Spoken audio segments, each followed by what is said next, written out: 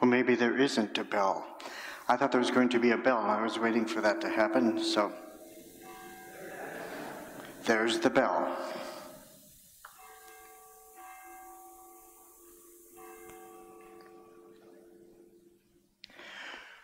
Welcome to worship on this fourth weekend in Epiphany, after Epiphany, I should say.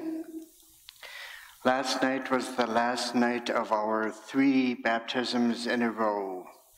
Will Neil Freeman was baptized last night, and another just gorgeous child. He did so well. So keep that family in your prayers, keep that little one in your prayers, and give God thanks for all that He has given to us, these little children. In person Sunday school begins next week for grades 2 through 6 grades two through six, and they will meet at nine o'clock, and so will we. So remember that next week. You'll be ushered out after worship today, but remember those of you who are on committees or executive board or whatever, you know who you are.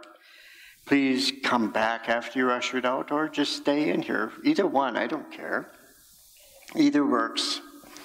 So, then on February, February 21st, next month is the worst month in my career. I don't like to say that word, February. That's hard. Um, somebody wrote down that they are honoring their mom or something on that day. It's the radio uh, broadcast sheet. We don't know who mom is or who wrote it down. And so if you happen to know who that is, if, or if you can have somebody call the office so that we can get the right people in there, that would be so helpful. Otherwise, we'll do with it as we can. In Deuteronomy, God promises to raise up a prophet like Moses who will speak for God. In Psalm 111, God shows the people the power of God's works. So for the church, these are ways of pointing to the unique authority people sensed in Jesus' actions and his words. We encounter that authority in God's word around which we gather, the word that prevails over any lesser spirit that would claim power over us, freeing us to follow Jesus. In the name of the Father, and of the Son, and of his Holy Spirit. Amen. God of all mercy and consolation, come to the help of your people, turning us from our sin to live for you alone. Give us the power of your Holy Spirit that we may confess our sin, receive your forgiveness, and then grow into the fullness of Jesus Christ, our Savior and Lord. Amen. And now let us confess our sin in the presence of God and of one another.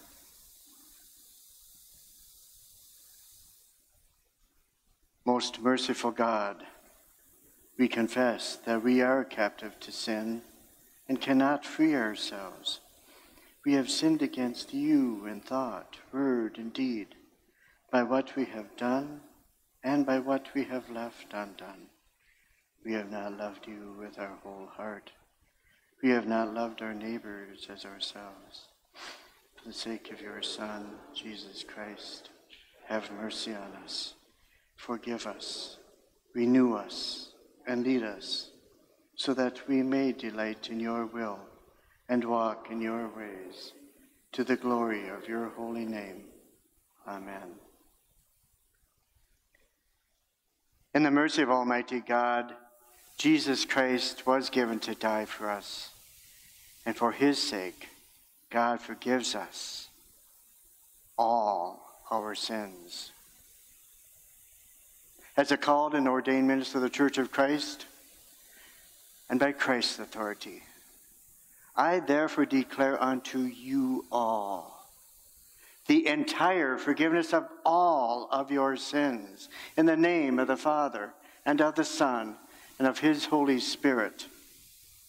Amen.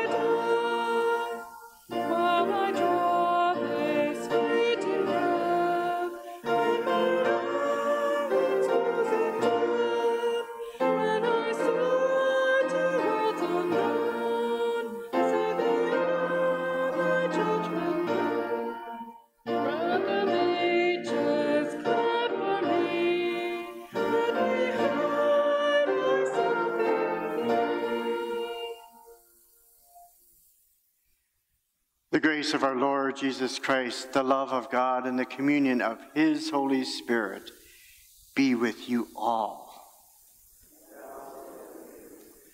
Let us pray. Compassionate God, you gather the whole universe into your radiant presence and continually reveal your Son as our Savior. Bring wholeness to all that is broken, and speak truth to us in our confusion, that all creation will see and know your Son, Jesus Christ, our Savior and Lord. Amen.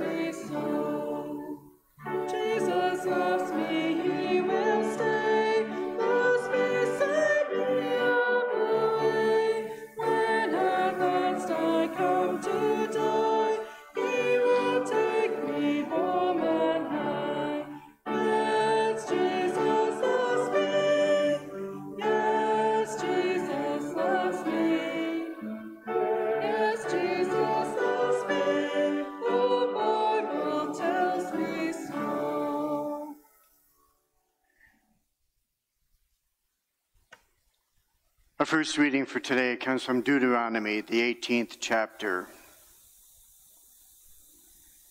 Moses said, The Lord your God will raise up for you a prophet like me from among your own people. You shall heed such a prophet. This is what you requested of the Lord your God at Horeb on the day of the assembly when you said, If I hear the voice of my Lord my God any more, or ever again see this great fire, I will die.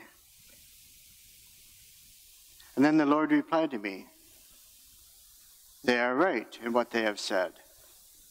I will raise up for them a prophet like you from among their own people. I will put my words in the mouth of the prophet, who shall speak to them everything that I command. Anyone who does not heed the words that the prophet shall speak in my name, I myself will hold accountable. But any prophet who speaks in the name of other gods, or who presumes to speak in my name a word that I have not commanded the prophet to speak, that prophet shall die. The word of the Lord. The second lesson comes from 1 Corinthians, the eighth chapter. Now, concerning food sacrificed to idols, we know that all of us possess knowledge. Knowledge puffs up, but love builds up. Anyone who claims to know something does not yet have the necessary knowledge. But anyone who loves God is known by him. Hence, as to the eating of food offered to idols, we know that no idol in the world really exists, and that there is no God but one. Indeed, even though there may be so called gods in heaven or on earth, as in fact there are many gods and many lords, yet for us there is one God, the Father, from whom all things and for whom all exist, and one Lord, Jesus Christ, through whom all things and through whom we exist. It is not everyone, however, who has this knowledge. Since some have become so accustomed to idols until now, they still think of the food they eat as food offered to an idol. And their conscience, being weak, is defiled. Food will not bring us close to God. We are no worse off if we do not eat and no better off if we do. But take care that this liberty of yours does not somehow become a stumbling block for the weak. For if others see you, who possess knowledge, eating in the temple of an idol, might not they, since their conscience is weak, be encouraged to point to the point of eating food sacrificed to idols? So by your knowledge, those weak believers for whom Christ died are destroyed. But when you thus sin against members of your family and wound their conscience when it is weak, you sin against Christ. Therefore, if food is a cause of their falling, I will never eat meat, so that I may not cause one of them to fall. The word of the Lord. Let us stand for the gospel acclamation. Alleluia! The people who sat in darkness have seen a great light. For those who sat in the shadow of death, light has dawned. Alleluia. A gospel for today comes from Mark, the first chapter.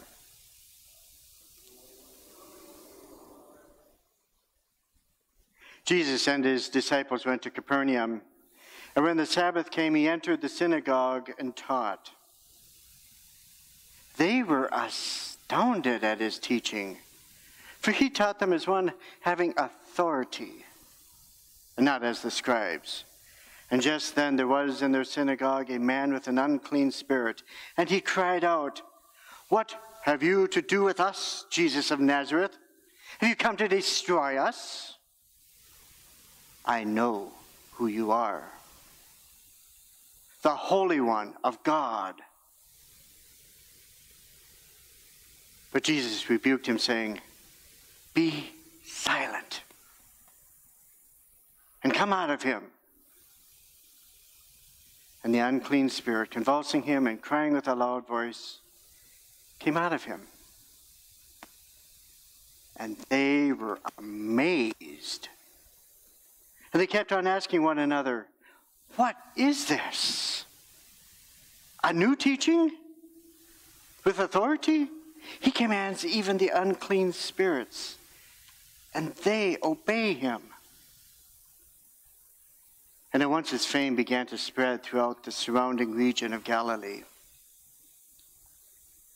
The Gospel of our Lord. And you may be seated.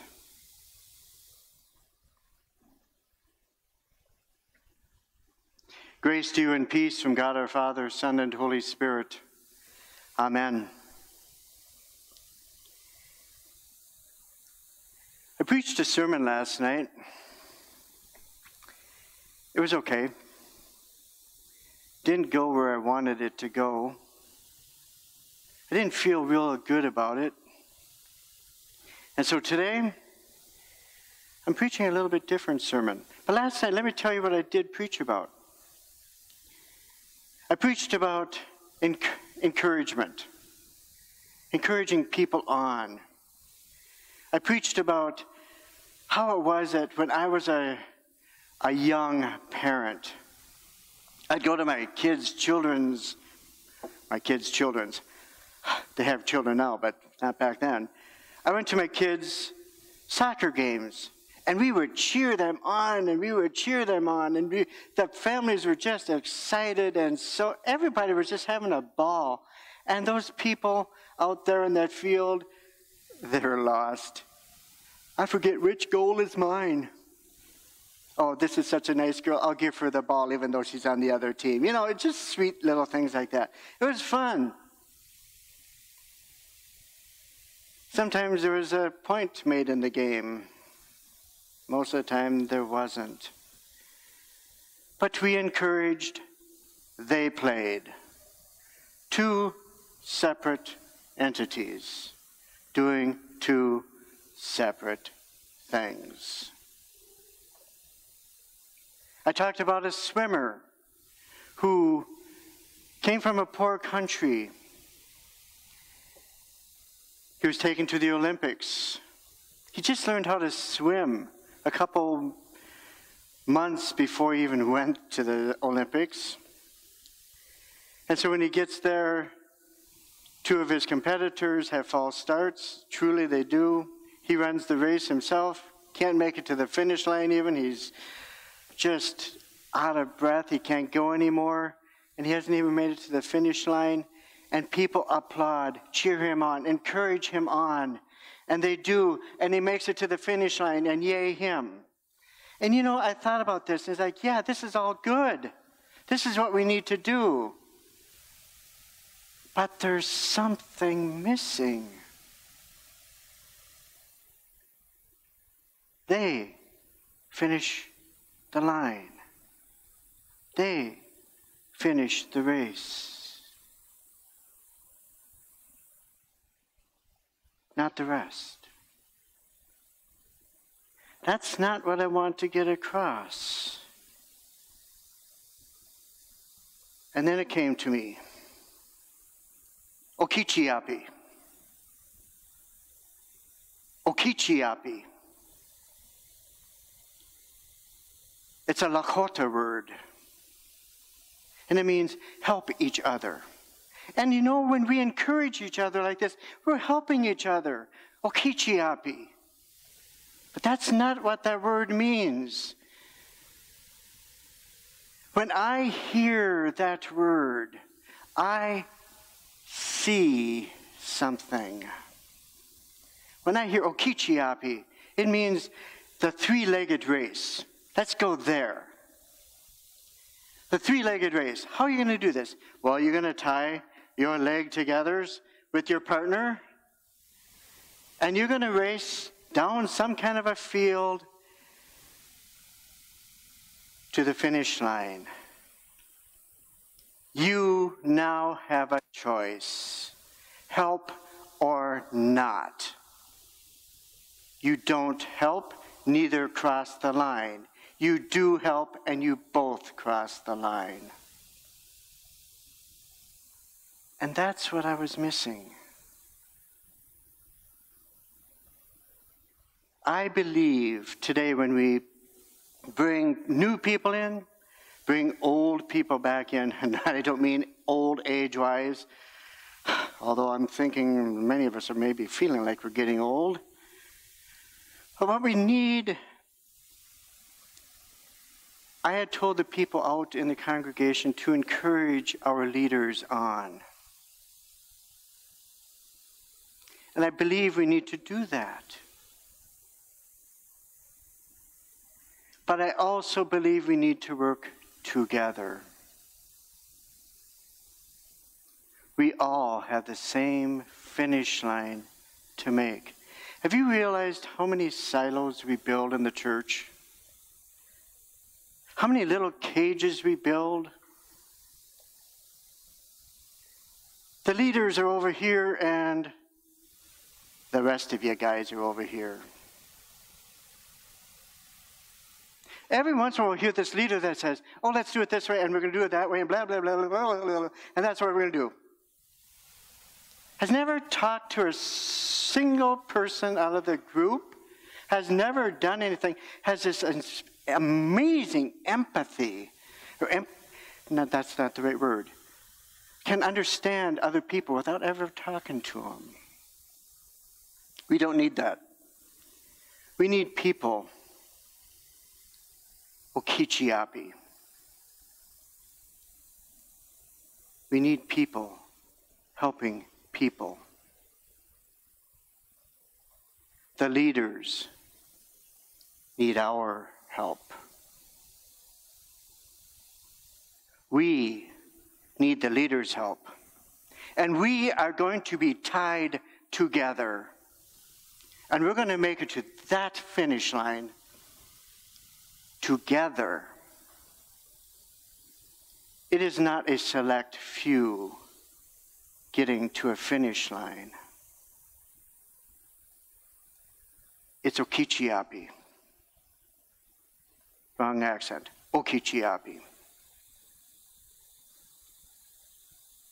It's helping each other.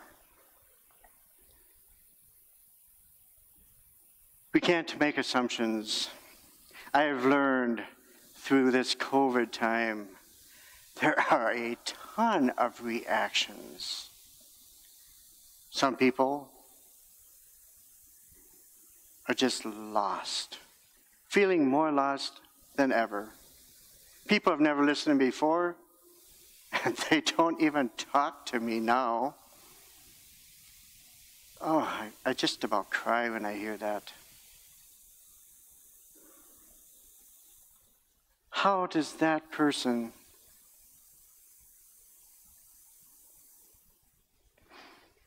how does that person get across the finish line? I don't care what that leader does in the church. Unless somebody ties themselves to that person. that person isn't going to make it. And that's sad. There is no okichiapi there. None.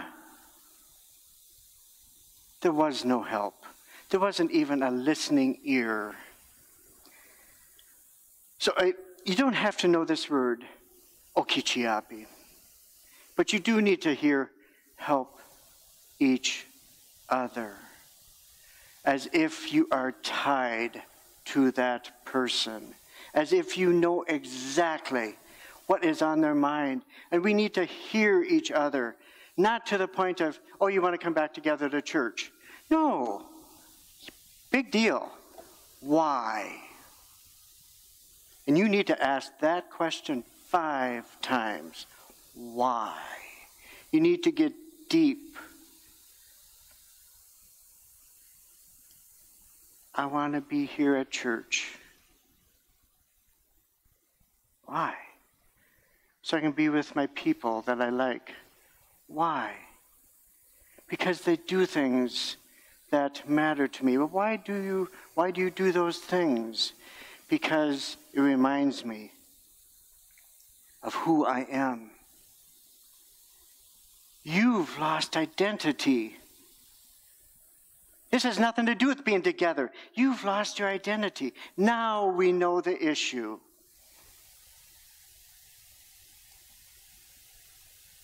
If we don't ask, if we don't talk to each other, we assume we know, and we know nothing until we get to Okichiapi helping each other, listening closely to each other, digging deeply with each other, never assuming we know better. Because it is that lost soul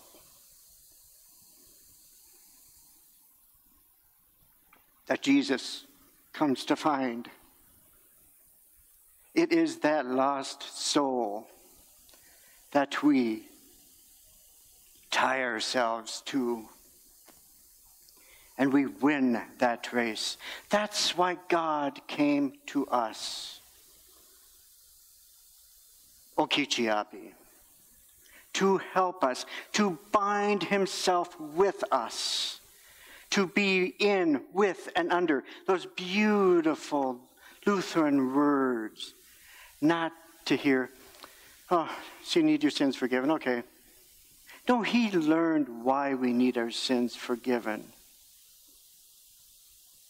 He asked the question and he listened.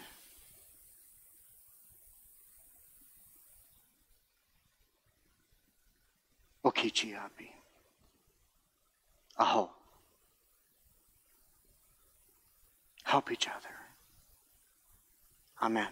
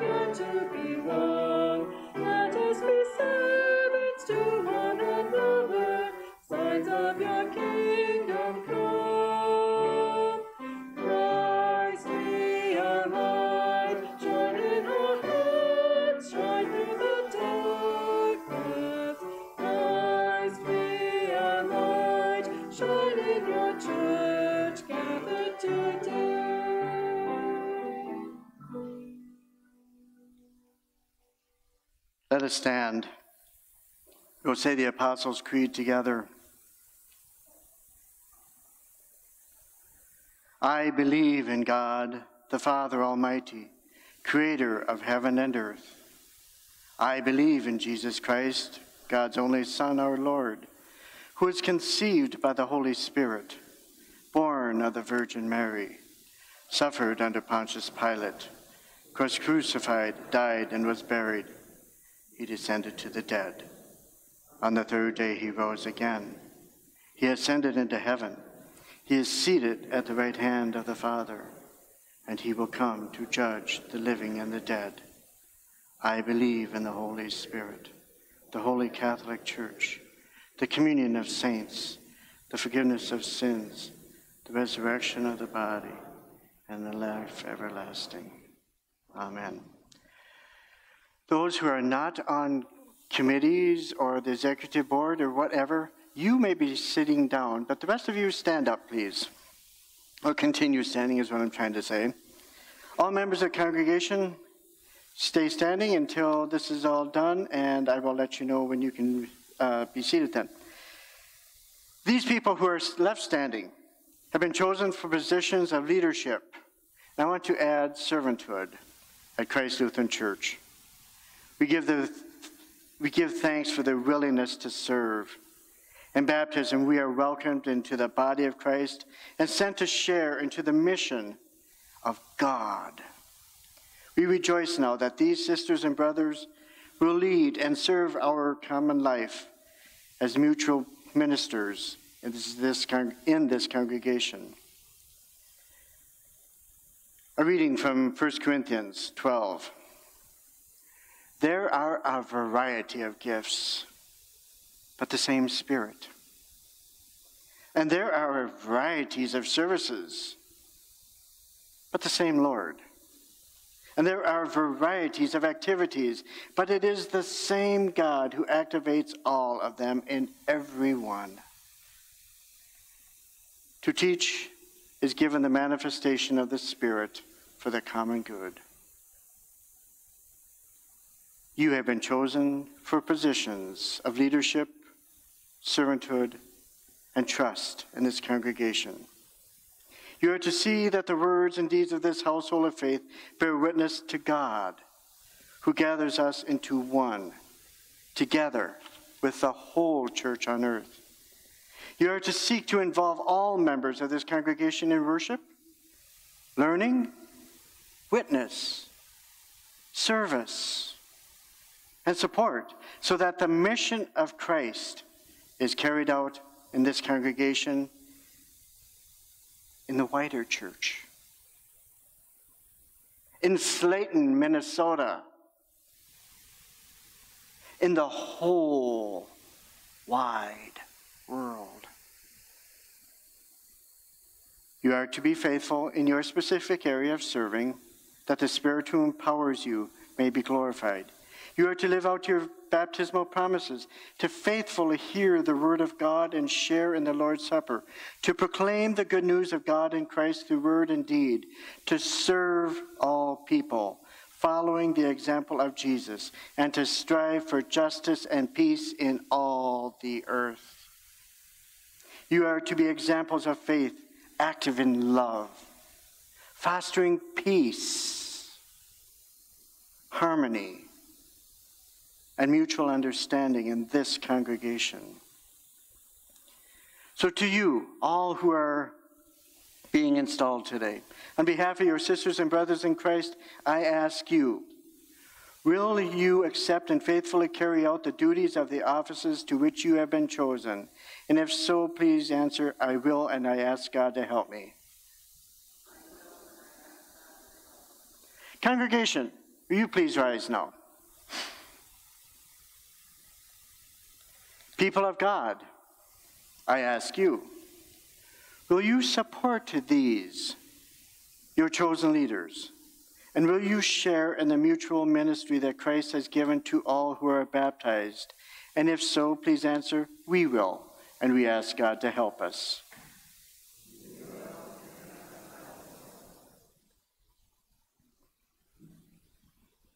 I now declare to you, you are installed as leaders of this congregation, Christ Lutheran Church.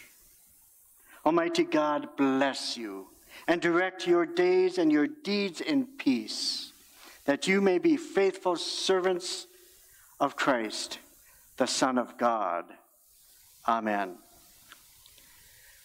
Let us acknowledge these people, congregation. These are your leaders.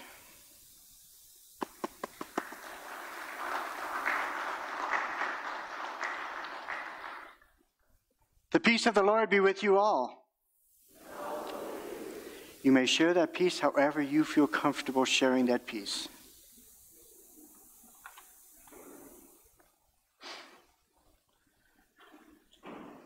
Feel free to sit when you're done.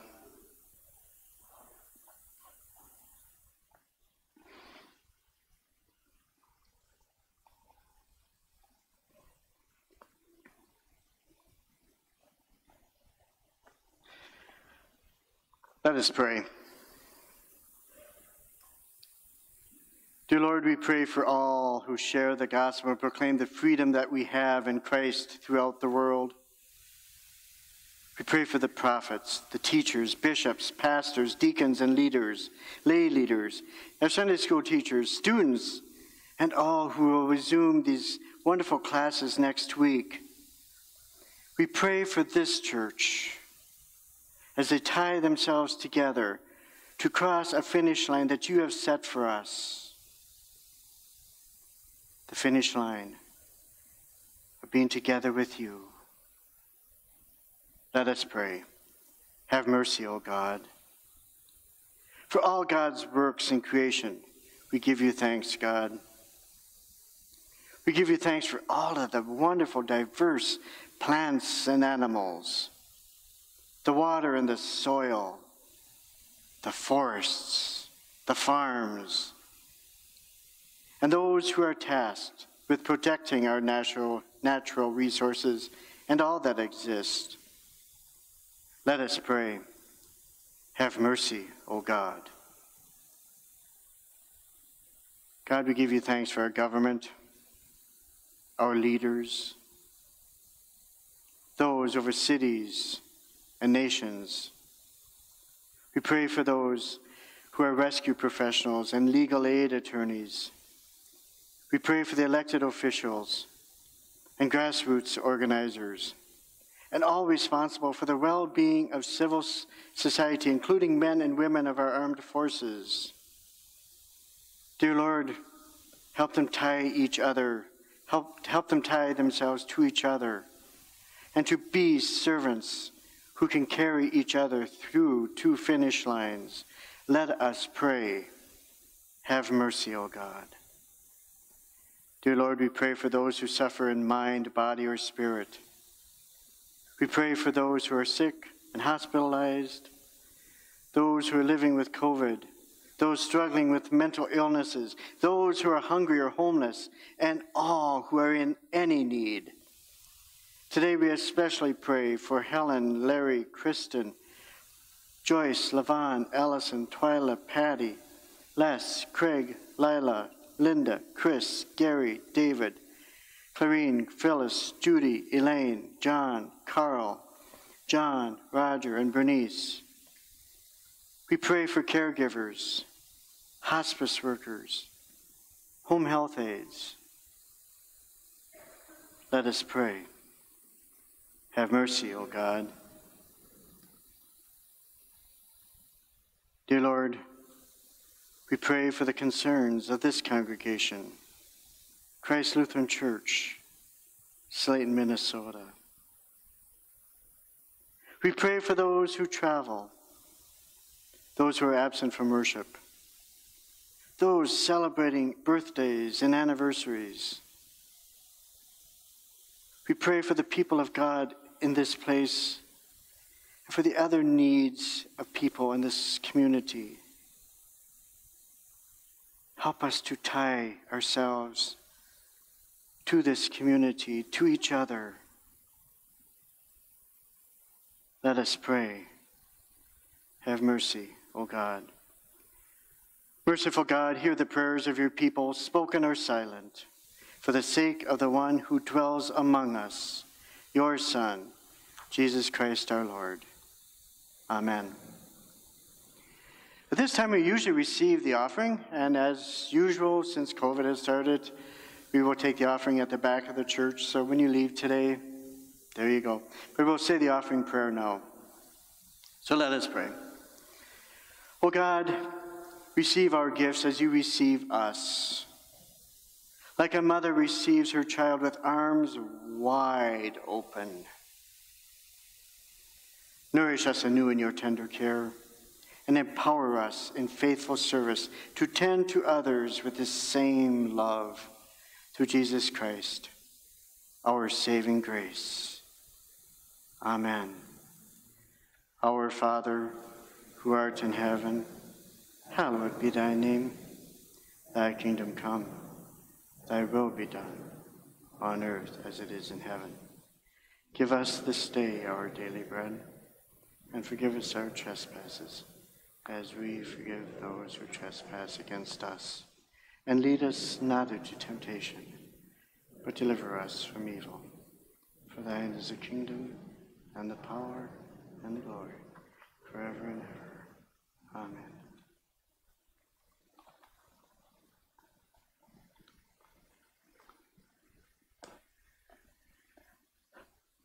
Receive the blessing.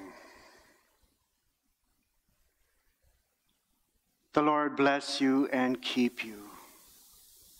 The Lord make his face shine on you and be gracious to you. The Lord lift his countenance, his favor upon you, and give you his peace. In the name of the Father, and of the Son, and of his Holy Spirit. Amen.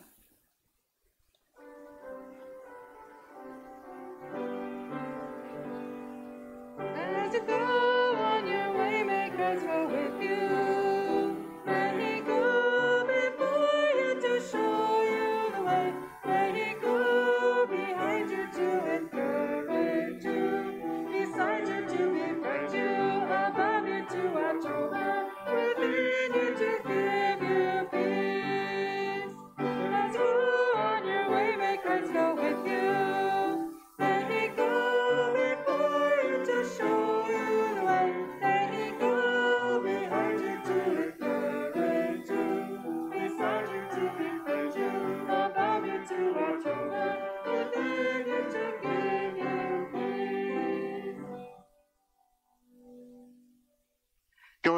Peace. Okichiapi. Be the light of Christ.